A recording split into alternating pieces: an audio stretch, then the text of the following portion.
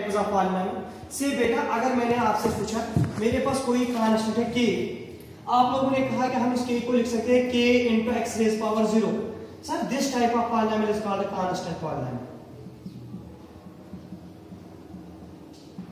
है ना?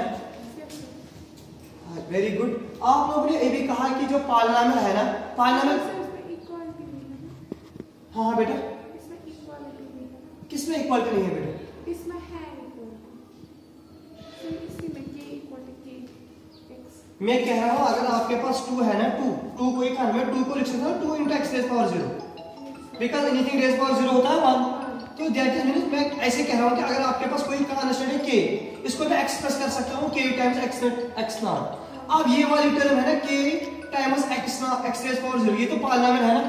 लेकिन इस पॉलिनोमियल की डिग्री कितनी? ज़ीरो इसकी जो डिग्री है ना दैट इज़ ज़ीरो और जो पॉलिनोमियल है ना जिसकी डिग्री ज़ीरो होगी that is called constant polynomial that is called तो पहला जो टाइप है ना, आप लोगों ने कहा पहला टाइप है कांस्टेंट पॉलिनोमियल